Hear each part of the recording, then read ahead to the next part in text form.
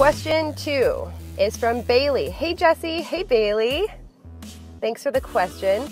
Bailey says, First of all, you're so badass. Thanks, Bailey. You too. I love everything about you. amazing. Oh, and sweet little Sammy. Oh, now you're after my heart. I just can't get enough. you're so sweet. Okay, here's Bailey's question Is it okay to split cardio up from training? Say I train in the AM and do cardio in the PM. Is that okay?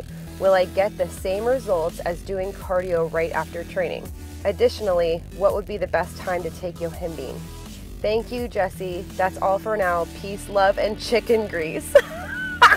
I think that's my new saying peace, love, and chicken grease. Oh my gosh. Oh my gosh. Bailey, I think you might be my favorite Jesse's girls right now. Yes, absolutely.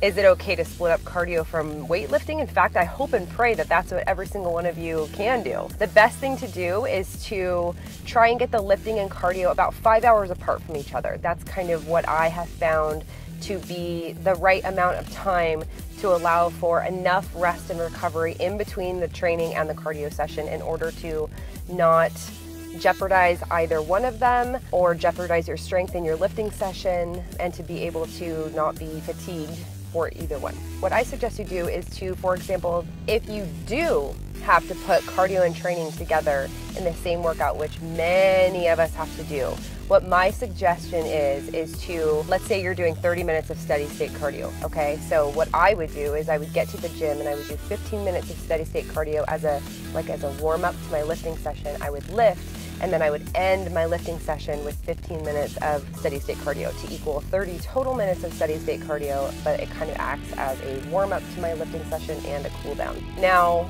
if you have to do HIIT, high intensity interval training, at the exact same time in the same session as your lifting session, that's where it gets a little bit tricky. I always want you to lift first that's the most important thing. Lift first always. But what I want you to do here is I need you to be fueled for your HIIT session.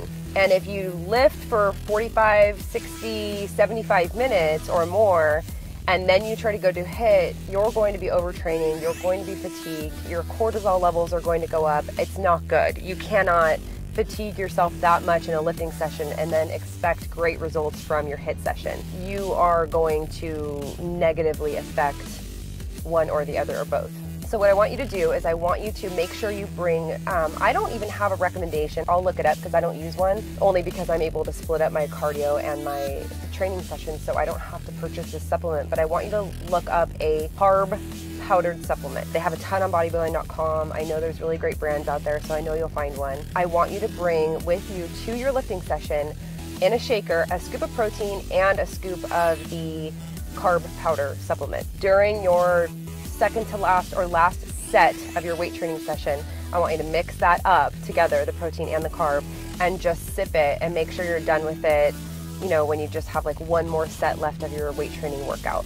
That way, you're sipping it while you're training, you get it in, and then you can just go straight over to whatever you're training for HIIT and get it done and be fueled, okay? And then as soon as you get in your car and go home from that lifting and HIIT session, get your booty home and eat, okay? That'll totally work. So I'll look up some carb powdered supplements on bodybuilding.com and uh, I'll make some recommendations. But that's what I want you to do if you have to put them all in one session.